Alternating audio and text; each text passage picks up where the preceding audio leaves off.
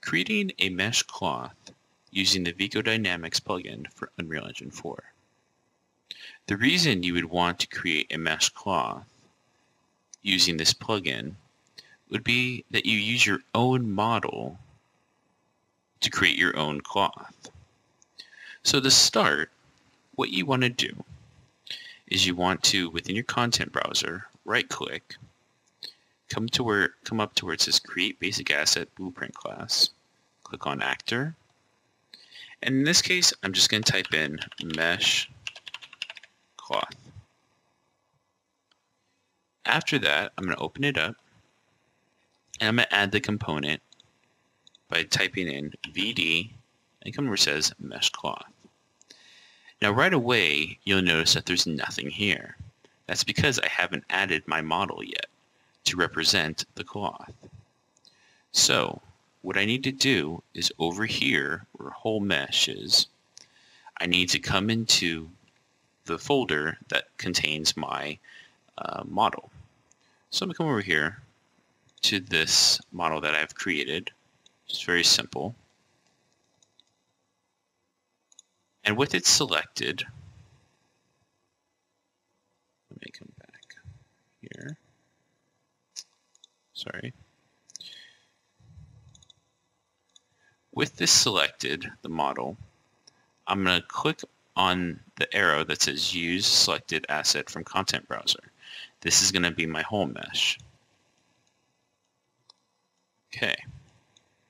Next, for my material, I have a material that I created right here, and I'm going to select that. So now I have my object and the material applied. But what I need to do is I need to add, I need to make sure it's attached to something. So I'll come up here to add component. I'm going to type in for collision and take a sphere collision bring it up and then to the edge. Now, in this case, I'm going to shrink it down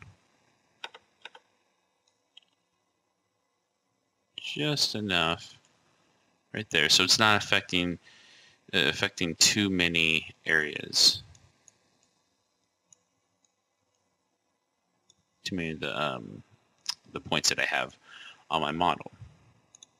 Next I'm going to make a copy of it. Pressing Control W. And move it over to the other end. Okay. So I just want to make sure really quick that the attach the rigids is uh, on here. It's checked. It should be by default. But I'll just type in rigids.